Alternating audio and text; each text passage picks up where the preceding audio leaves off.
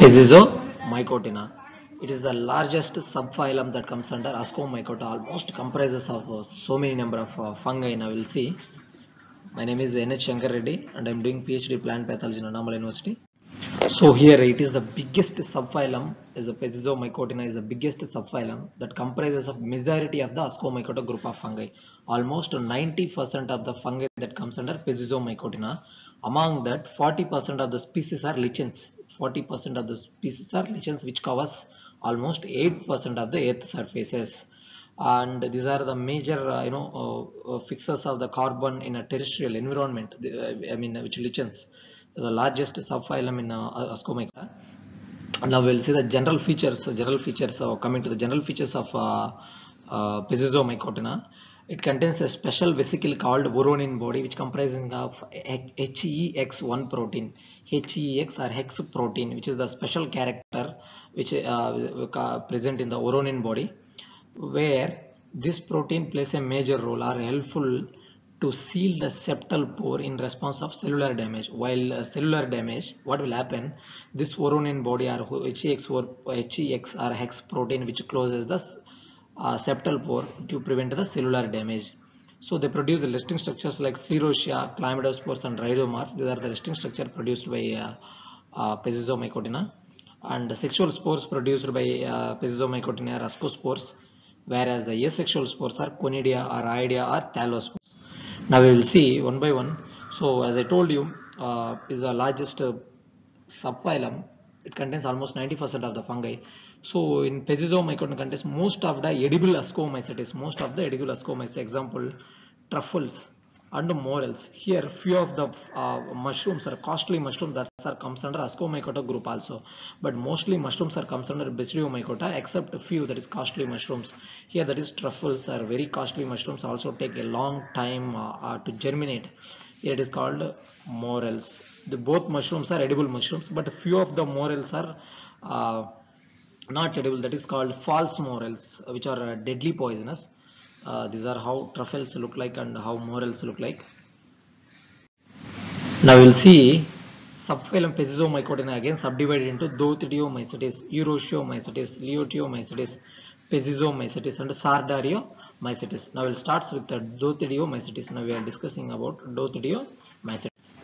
Here Dothideomycetes again the class is subdivided into Dothideomycetidae, Pleosporomycetidae and Insecticides. Uh, the important fungi only we are going to see here that is order capnodials we are going to see here. And then pleosporales now we'll see order one by one capnodials pleosporales and uh, now we'll start with uh, capnodiaceae the important from capnodials the comes uh, uh, the important fungi that comes under capnodials is capnodiaceae uh, this capnodiaceae with sooty mold which is caused by capnodium.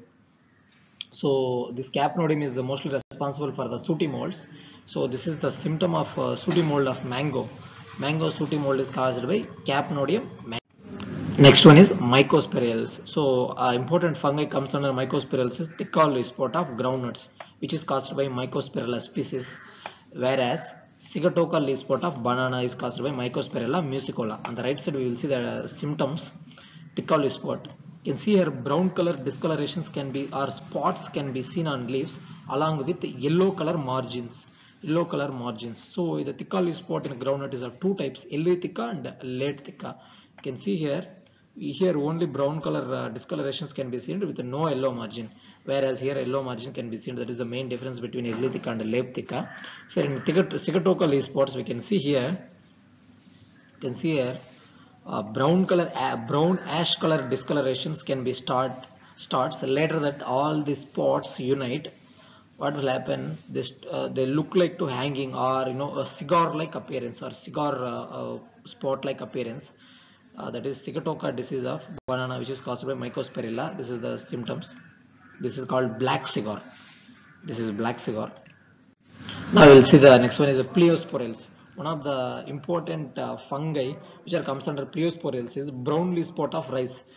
Brown leaf spot of rice which is caused by Cochliobolus miyabeanus or bipolaris oryzae which is the responsible for Bengal famine which is responsible for Bengal famine. Almost 2 to 3 million people are died due to Bengal famine that comes under pleosporales So another important uh, group that comes under Pleosporus is alternaria species. The uh, diagnostic and uh, important symptom that uh, sorry uh, identification characters of the spores are the spores you can see here bell shaped spores almost look like a bell shaped or you know uh, shaped spores. The identification symptom is alternate and vertical septations can be observed here. Here the septa are alternate and vertical. Alternate and vertical septations are the diagnostic symptom of alternaria conidia. The next one is venturia so in Venturia is a important disease is apple scab that is Venturia inaequalis. Venturia inaequalis which is caused by uh, sorry uh, is responsible for apple scab disease. So here the one more important uh, feature or uh, you know, character is flame shaped conidia with bicelled ascospore which is produced by Venturiaceae. So flame shaped conidia and with bicelled ascospore which is produced by Venturiaceae that is apple scab. We can see here spots how this corky you know uh, corky or rough surface on fruits can be seen on the leaves also can be observed here. See the brown to black color corky uh, outgrowths or rough surface can be observed on uh, uh apple fruits. Here white is called as a no sorry flame shaped conidia sorry.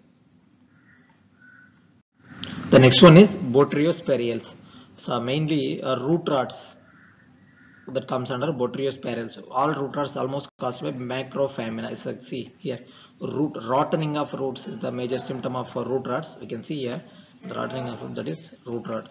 And another uh, uh, disease, important disease that comes under Botryosphaeriales is black rot of grapes, which is caused by Guignardia bidwellii.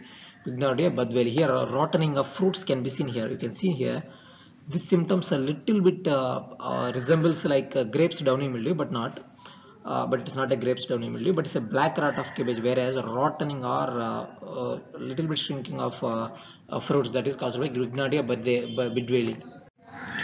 Uh, the next one is we are going to see Urosio, Eurotiomycetes. Urosio, the Dothideomycetes is over. Now we are seeing Eurotiomycetes. The main important fungi that comes under Eurotiomycetes is Aspergillus and Penicillium. Aspergillus and Penicillium. Now we'll see one by one. So uh, first one is Aspergillus. So aspergillus is a very dangerous fungi which leads to food toxication. Animals, humans, so many uh, grain contaminations and toxications are many diseases. Not diseases, we can say contaminations is mainly responsible due to aspergillus. So it is responsible for aspergillosis. Aspergillosis, it is a disease mainly due to aspergillus. What will happen if we consume or eat the grains or food products of aspergillus contamination?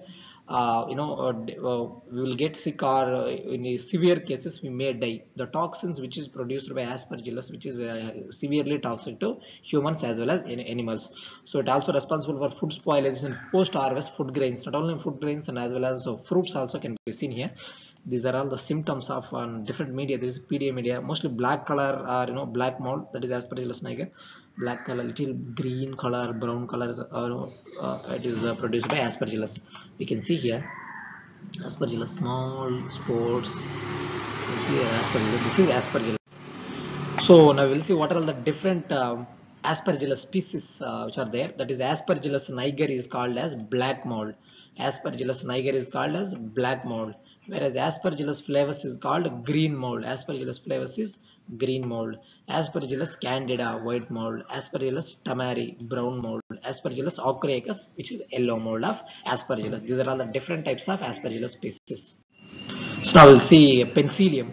So penicillium is you know uh, uh, mostly used in the production of antibiotics but the same penicillium is also responsible for the spoilage of food grains as well as post harvest foods we can mostly see in green color uh, colonies can be observed on uh, uh, you know uh, petri plates. You can see here this is you know chain like uh, conidia you know how can we say that a toilet brush or toothbrush like uh, uh, things can be observed in both aspergillus as well as penicillium. This is the microscopic image of uh, penicillium. This is the microscopic image of penicillium you can see uh, bread get infected by penicillium. You can see how bread get infected by penicillium and also by uh, some of the fruits. This is a post harvest disease that is caused by penicillium species. So here one more thing is penicillium chrysogenum is a species of penicillium that can be used for the production of antibiotic penicillin. So antibiotic penicillin is isolated from penicillium chrysogenum Now see, we'll see what are the different species of uh, uh, penicillium. That is penicillium roqueforti, which is called a blue cheese fungus, which is used for the making of blue cheese, which is a very valuable cheese uh, mostly produced in foreign countries. So the next one is Penicillium italicum, which is a blue mold fungus, not blue cheese, blue mold fungus. Whereas Penicillium roquefort is a blue cheese, but Penicillium italicum is a blue mold fungus. Whereas Penicillium digitatum is a green mold fungus.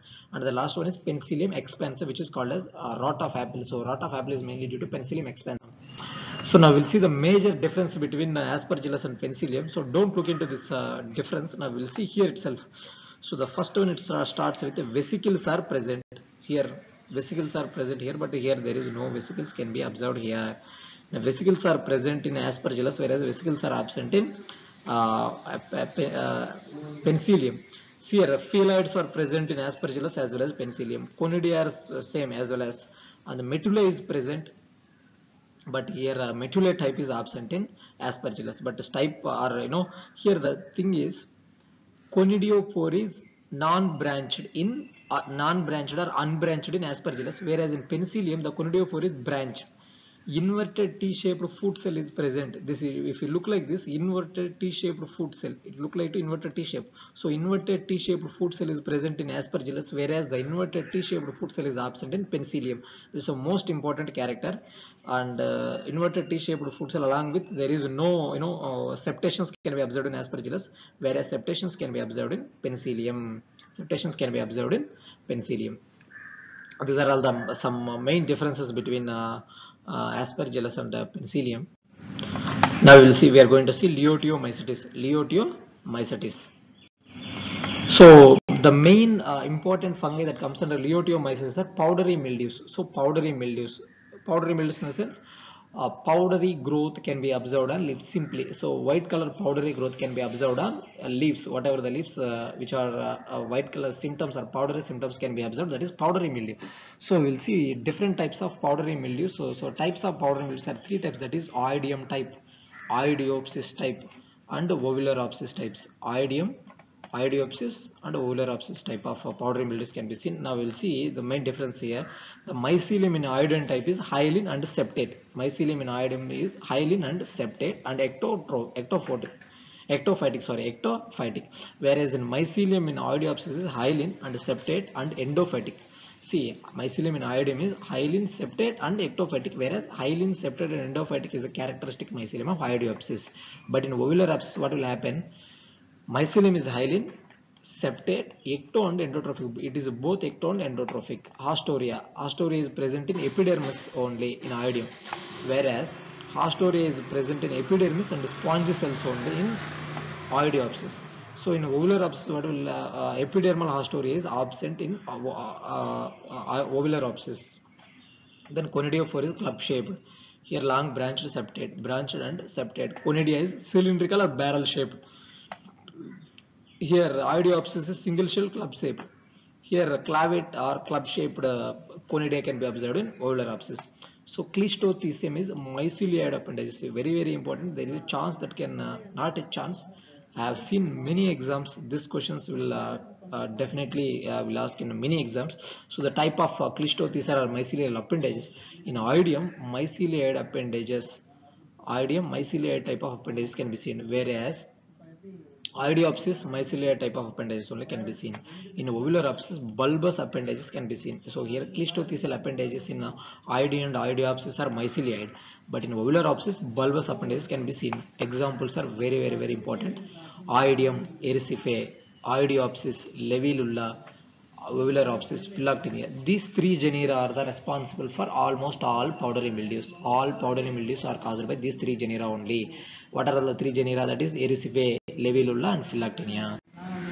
As I told, see here, septate, intracellular mycelium. It is it is also septate.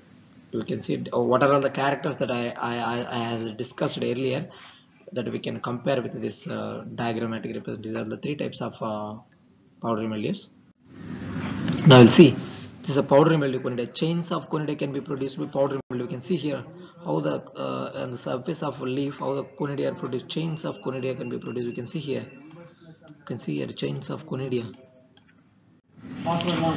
So now we'll see the main difference between uh, powdery mildew and downy mildews. So coming to the symptoms, downy growth or brownish uh, uh, uh, downy growth can be observed on downy mildew infected plants whereas in powdery mildew white color powdery growth can be observed on both surface of leaves observed on both surface of leaves. So the type of mildew of downy mildew is a false mildew. Downy mildew is not a true mildew whereas powdery mildew is a true mildew otherwise called a sac mildew. So other names is hairy fungi. Downy mildew is called hairy fungi whereas powdery mildew is called sac fungi so this downy mildew comes under phylum Oomycota whereas the powdery mildew comes under Ascomycota. Coming to the family, this downy mildew fam fungi comes under family Peronosporales whereas uh, powdery mildew fungi comes under family Erysiphaceae. So the mycelium type is aseptate, non-septate or cenocytic, contains no septa. Whereas in uh, powdery mildew, septate and intercellular.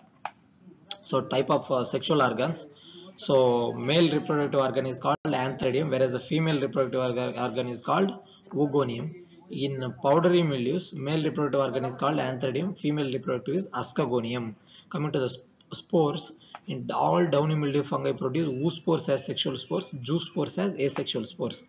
Whereas in powdery mildew, all powdery mildew produce ascospores as uh, uh, ascospores as uh, sexual spores, conidia as asexual spores. So the coming to the important genera, Sclerospora, Peronospora, Plasmospora, that all comes under downy mildew.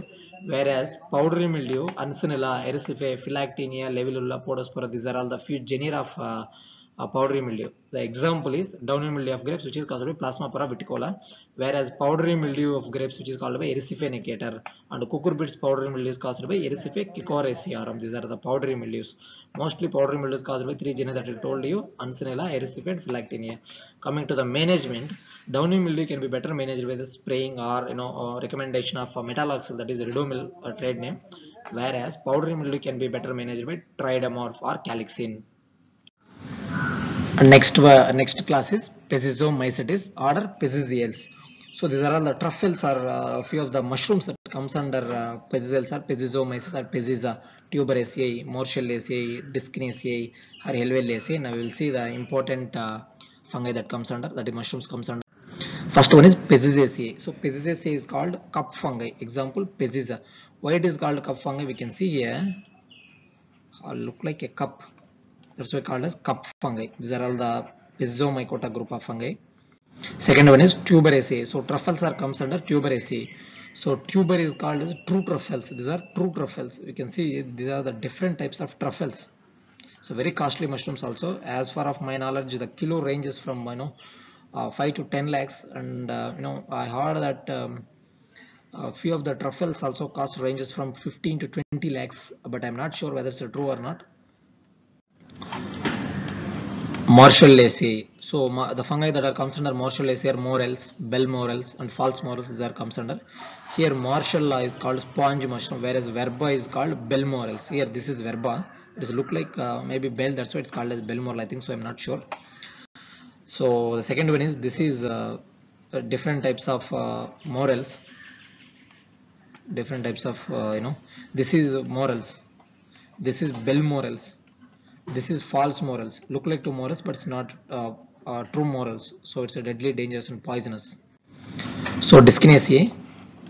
So gyromitra and uh, uh, sorry Gy gyromitra which is considered as false morals. We'll see here this fungi is a gyromitra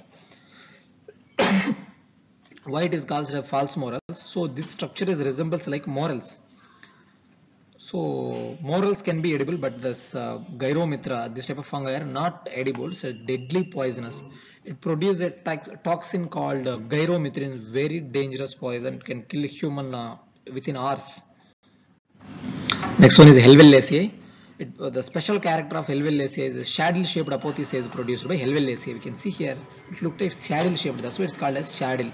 You can see here, saddle-shaped apothecia and one more uh, uh, important uh, thing is it contains a toxin called Helvella toxin. And this toxin can be destroyed while cooking. What will happen? We can eat this mushroom. While cooking the toxin present in this uh, Helvella can be destroyed. So it can be edible after cooking. The next one is Sordariomycetes so now we'll see what are the fungi that comes under Sordariomycetes we're not going to see each and everything. We'll see only important fungi. Then uh, Uh, next one is hypocreales. The important fungi that comes under hypocreales are uh, trichoderma, gibberella, claviceps, verticillium. So this is trichoderma. This is trichoderma, which can also use as a biocontrol agent. This is gibberella. You can see conidia like you know harsh shoe-shaped conidia can be seen here with septations. This is claviceps. So sclerotia, very toxic and poisonous. This is verticillium, a red color, uh, you know, streaks are what what when what we call it as red color uh, margins can be seen here. That is a this is a culture of verticillium. Now we'll see the uh, life cycle. So the uh, symptoms, uh, the ma major important symptom, honeydew-like substances are produced from the infected plant grains You can see later on that what will happen these grains are converted into black color light black color uh, powdery masses that which are unfit for consumption if we consume it we will die because of ergotism so the life cycle of ergotism uh, the symptoms include honeydew like substances are produced or uh, uh pro, uh, produced out from the infected plant pots now we'll see honeydew substances later uh, this is the honeydew like substances? Are very clear symptom. Honeydew like substances is the clear uh, uh, symptoms can be seen here it is a very important symptoms which is caused by claviceps purpurea. Coming to the asexual reproduction and sexual reproduction we get bored we will see directly here what will happen the septate mycelium it germinate and produce conidia. Here what will happen this conidiospore contains conidia that get infected by the uh, you know uh, uh, sorghum grains sorry uh, kambu grains. Uh, then it's germinate and produce uh, sporangiate sporangiospores sorry uh, uh, this you know conidia. Then what will happen then perithecium can be produced after the perithecium this is what type of uh, this is perithecium type with small opening or slit called ostiole then what will from that what will happen? Asca with ascospores are produced the same uh, germinating ascospore then the life cycle continues here.